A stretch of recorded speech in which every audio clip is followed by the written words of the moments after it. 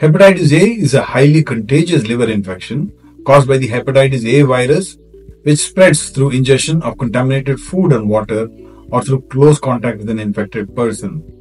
The common symptoms of hepatitis A virus infection include fever, easy fatigability, loss of appetite, nausea, vomiting, abdominal pain, and more importantly, jaundice, which means yellowish discoloration of the skin and eyes.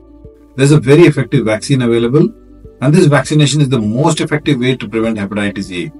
The vaccine is safe and recommended for all children over the age of one year, as well as adults who are at high risk.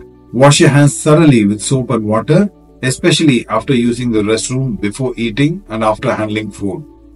And also, ensure that the food that you eat is cooked thoroughly and served hot.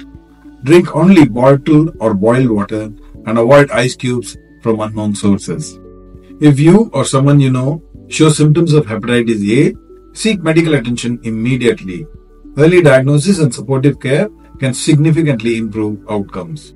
Together, we can combat this outbreak by staying informed, taking preventive measures, and supporting each other. Thank you for your attention and stay safe.